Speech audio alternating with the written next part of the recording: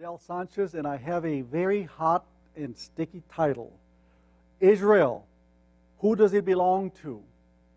Does it belong to the Jews or does it belong to the Palestinians? Look at the cover page so you could get a glimpse of what I'm dealing with in this probably two part series. Israel, whose is it? Jews or Palestinians?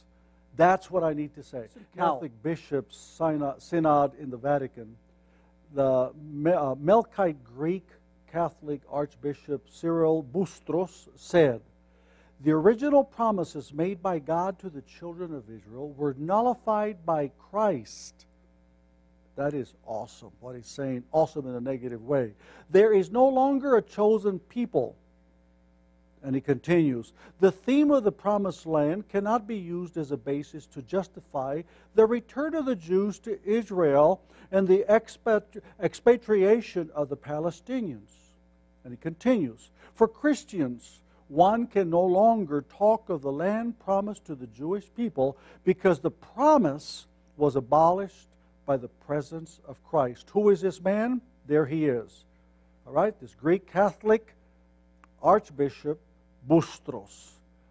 So there you have it, hot out of the Vatican. In other words, hey, nothing, nothing can overpower uh, or overrule the word of the Vatican, so they think, and that ultimately what God said both in the Tanakh of the Old Testament and the Christians' New Testament. So let's talk about who does it belong to. I'm going to give you, this is a teaching. This is a purebred teaching. This is didactic teaching with information that maybe many of you, if any, has ever heard.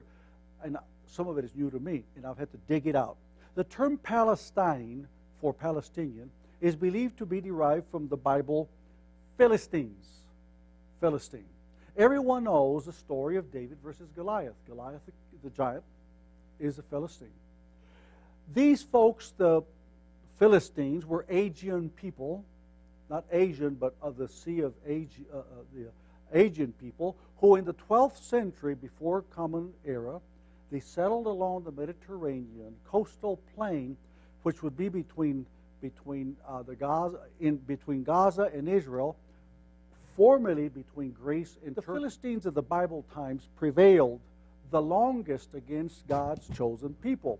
They were the most severe enemies against Israel for the longest period of time. The word Philistine comes from the Hebrew word to go round about, seeking, round about, seeking. What does that mean? The, the word, the term Palestine, Palestine, as in Palestinian, comes from Philistine and are related by turnabout or around, as in migratory. Migra- so now you get the, the, the perspective migration, migratory, roundabout. All right? Make a mental note of the word migratory because I want to come to it over and over through this teaching. It comes from the word balash. Balash in Hebrew means to drag or to turn about on the soil, to turn about, to turn about on the soil. Sounds not human, does it?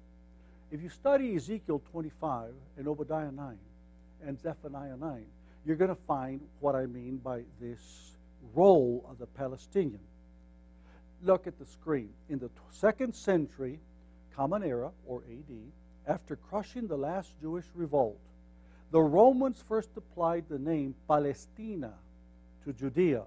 Palestina was applied by the Romans, not by the Jews, but by the Romans. So now, what does that mean, Palestina? Because this is the gut of it, this is the heart of it. This is a, the southern portion, Palestina, as the Romans called it, the southern portion of Israel, which is now called the West Bank and much of the Negev. It was an attempt to minimize why Palestina? What were the Romans thinking when they would say Palestinian, Palestine?